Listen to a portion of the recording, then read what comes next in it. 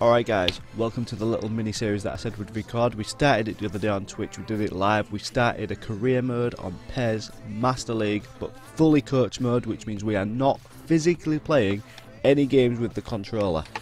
What that means basically is we have to use tactics, substitutions, so on and so forth to win, it, win our games rather than just beating the computer ourselves, which to be honest in most games is quite easy anyway, but I don't see any challenge in that.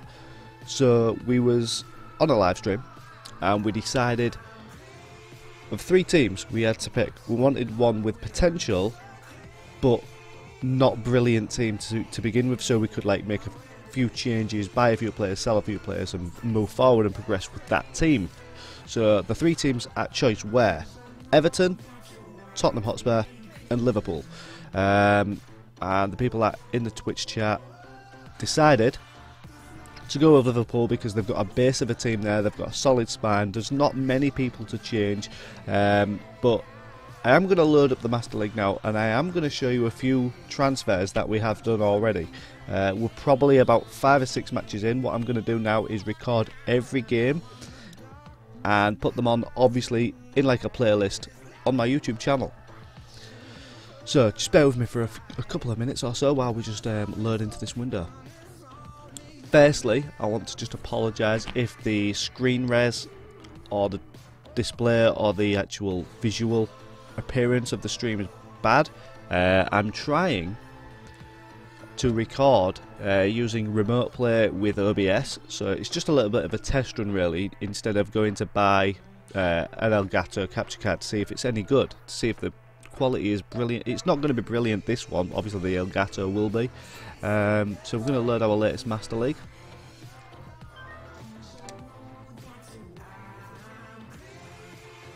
Before going any further, in case you haven't noticed or I haven't already mentioned, the game we are currently playing is Pro Evolution Soccer 2017.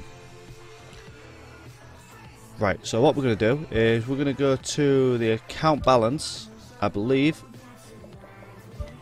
and we're going to go to our transfers. So this is what we've done already. Um, as you can see, we, we released Arnold because our our squad list was full to 32, and if your squad squad list is 32, you cannot sign any more players. So we released him, and then we bought in Renato Sanchez on loan. Uh, we paid a 1.5 million for that, but we're going to buy him. We've we've had an option to buy because in PES this is where there's like a dramatic difference between PES and FIFA. The prices on PES are a lot less than what there would be in the real life situation if you do a learn to buy. Whereas if you go and outright buy, the prices are more realistic. As an example, we were going to buy Antoine Griezmann. They wanted 102 million pounds to buy him outright, whereas if we learn to bide. It was roughly half the price so I don't know if that is a fault with the game uh, but to be fair it's probably the only fault that there is. As you can see uh, we also got Jimenez who is a centre back which means we sold Sakho for 18.5 million pounds which is the fifth one down I believe on the screen. And then as you can see we got the big boy. We bought in Neymar on loan uh, we paid 15 million for the initial loan, and I think we have to pay 32 to buy him outright um, as well. So that's going to go up to a combined total of about 40 odd million, which is a steal for Neymar. Uh, obviously, as you can see, obviously we sold Milner as well because we're not really going to play the guy. Uh, so we've obviously replaced him. His replacement was obviously going to be um, his replacement was uh, Sanchez, his centre midfielder. Uh, as you can see, also we also got uh, Sane in from Man City. He's going to work on our right midfield with Mane. We're going to use them as alternates. We're going to swap them. As you can also see, we got rid of Mignolet because he's not going to play for us. Why keep him on our books, on our wages, when we can sell him? We also got rid of Lovren because I feel Lovren this year isn't going to cut it. I just felt we needed Jimenez. It was a toss up between Laporte and Jimenez, but Jimenez was a year younger with the same overall rating, so obviously we can enhance his abilities with um, the training regimes that we can do. We also got rid of Emre Can, or Chan, sorry, should I say. So we got rid of him as well because I don't I don't see him featuring in our in our game. And we got rid of Lucas Leiva. He's our most profitable player so far. We got rid of Leiva. He's not going to play, so he's just going to be on our books for no reason. So we got rid of him. And personally, I wanted to keep Alberto Moreno, but Twitch chat insisted we got rid of him. Um, so we got rid of Moreno, and we bought in an absolute beast of a player who is going to be one to watch, uh, Rodriguez, who currently plays, I believe, for Wolfsburg. Uh, so we signed him from Wolfsburg. We haven't signed anyone officially yet. We've learned, and then we're going to go and buy them um, in the next transfer window when January comes around. We don't have to do that. We could do it now because we've got enough money in the kitty to do that. Uh, obviously, we learned out um, Ilori because he's not going to play in our team, but we need to develop him and have him just doing training doesn't develop players very well. And as you can see, we did sign Sanchez, so we played originally one and a half million to learn him, and then we signed him for 11 and a half, so that's roughly about 13 million or so. So that's that. And, and just so we can see what we've got left in the bank, we're going to go to our negotiations. And as you can see at the top of the screen, you can't see at the top of the screen. Oh no! Um, because the cam is there.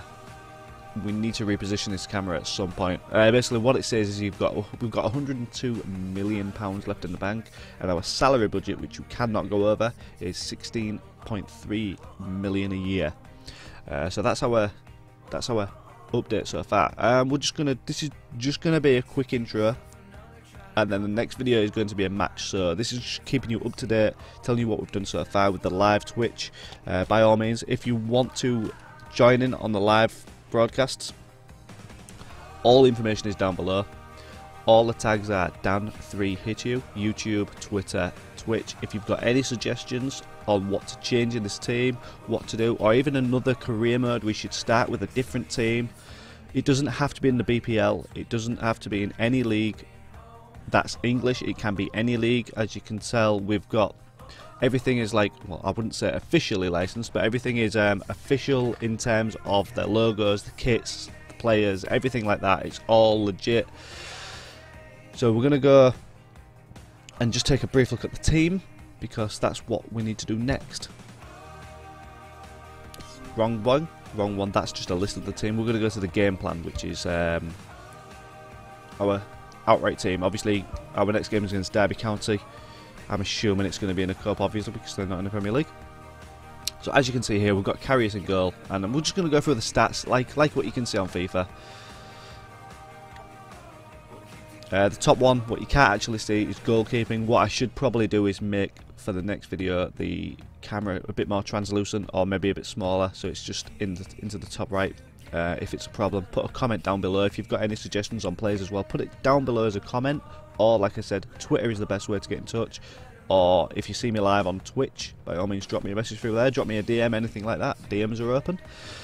Uh, so obviously, as you can see, the only one that you can't tell there is goalkeeping. That's 89 rating, catching is 88, clearing 88, reflex is 90, and coverage, defensive prowess basically, uh, like covering the area, is 88.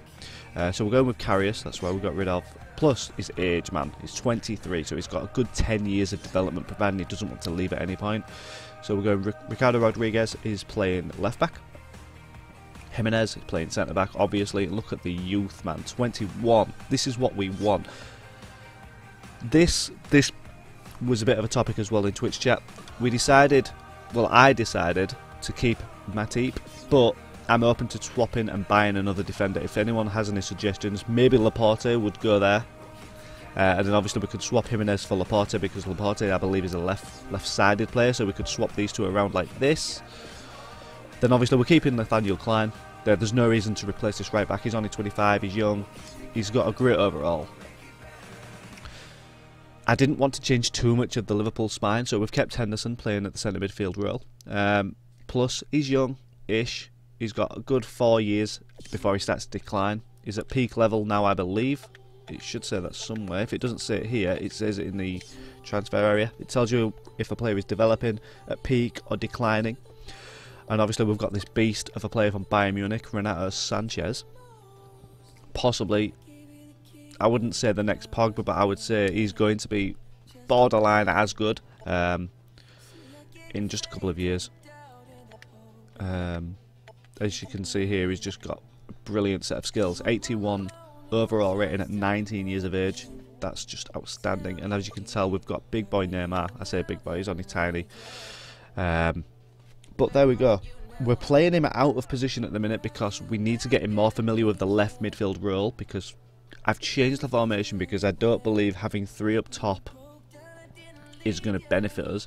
I think we need to more pack the midfield, have Neymar up and down, box to box sort of thing. You don't really need to see Neymar stats, you know they're good.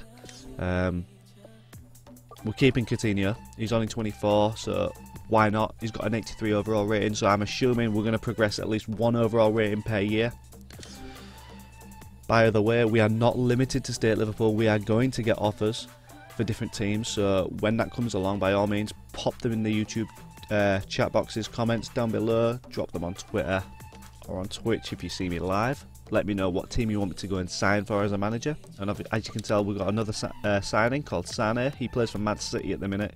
He's a very, very young, upcoming player. He's got an amazing overall rating for a right midfielder at only 20 years of age. That is fantastic. But as you can tell, we're not we're not getting rid of our players. They're they're staying here. Mane is staying because he's only 24 as well. 80, 80 overall rating. Surprisingly, Mane is less than Sane. Uh, so there must be some truth to that at some point maybe Mane is just not fully established himself as Liverpool, so they had to mark him down. Who even knows? Sturridge, I'm not overly keen on keeping Sturridge because I don't think we need to play with a centre forward. I'd rather play with a false nine, which is basically if you have one second striker, which would be Firmino. On his own, it plays as like a false nine, and then obviously your two wingers overlap and progress forward. So what I was thinking was if we sold Sturridge, we could possibly buy in a decent striker, or we just sell him and then we keep um, Origi. I'm going to get rid of Danny Ings because he's not going to play. It's pointless him keeping on our books. As you can see, we've got a few reserves here just in case of um, injuries. We're keeping Lallana. He's got a massive range of coverage that he can cover. Left wing, right wing, left mid, right mid, attacking midfield. So if he can come on as a sub whenever we damn well please pretty much. Wijnaldum, we're going to keep him as well, I believe. It's up to the chat and the comments, obviously, but if anyone wants to get rid of any player, by all means, like I said, pop them in a box. Ones with the most likes, the most comments, agrees, or the most replies to it, that is what we're going to do. I want this to be your career mode, not my career mode, because I've got my own career modes. Your career mode, I want the people that are watching to decide what is going on.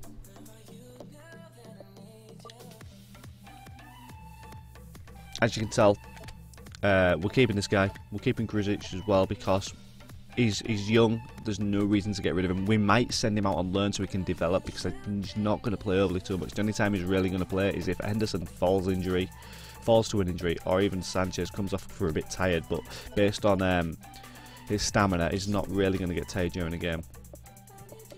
Uh, but things are looking well so far. I think Firmino is outperforming Sturridge. So what we're going to do at the minute, we're just going to, I'm just going to briefly show you another stat page. Um, it's manager, team info, club performance this season.